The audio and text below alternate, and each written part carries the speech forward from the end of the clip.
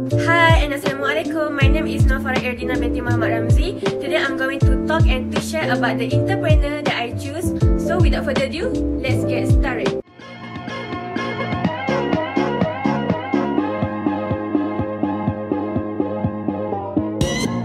Entrepreneurship is a crazy, fun roller coaster. So sometimes you're up, sometimes you're down, you're like, why did I get on this ride? So it's that feeling, literally, every day. a really good support system. And this is like from the team, from my husband, from my parents, from my kids. Being an entrepreneur, there's so much going on. So a really good support system is all you need to reset and, and find comfort in.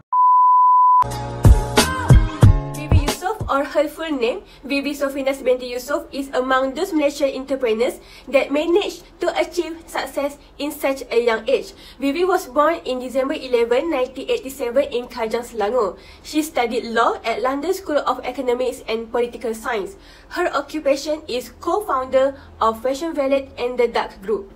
Vivi Yusof married Fazaruddin Anwar Shah in 2012. 2012. They are partners in love, life and business. She runs Fashion Valet with his husband Fazaruddin Anwar, who holds the Chief Executive Officer position in the company. They now have three beautiful children, Daniel Azim Shah, Mariam Iman Shah and Sarah Ilham Shah. Before she started Fashion Valet and the Duck Group, Bibi Yusof is a blogger at her own blog for 10 years who has been sharing insights about her life and entrepreneurial journey. Through her personal blog, proudduck.com, Vivi has been writing there starting from her college days in London. She blogs about everything, especially about her love life, career, family, and now motherhood.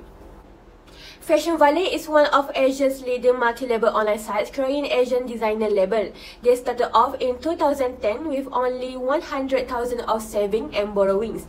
Then, they able to expand with winnings of My EG Make the Pitch 2012.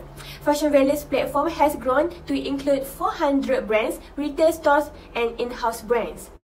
The Duck Group provide premium quality scarf to elevate the lifestyle of the modern modest human.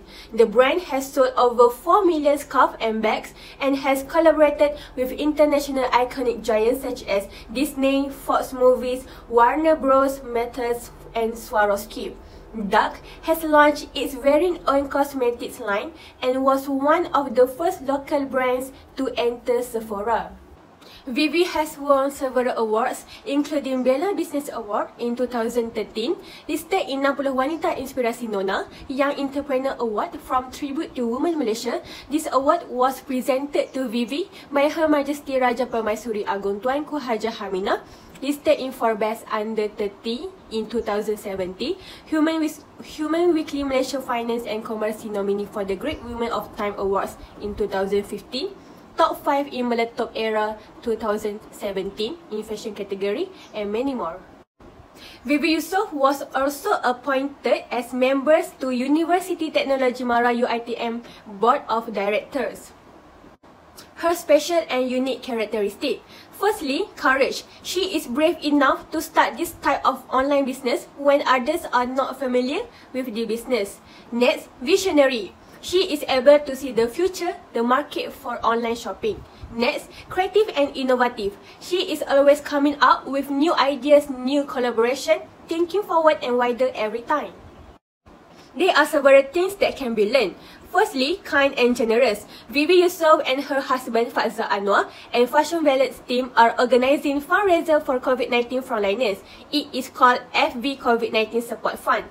Next, on business. Take risk. The risk was too high as people were still not used to purchase things online. But there, Vivi and her husband hard work has finally paid off. Besides, she has always known what she wanted in life. Lastly, family. Quality over quantity. Even though Vivi Yusof is a career woman, Vivi ensure that she would always spend time with her family, especially her children.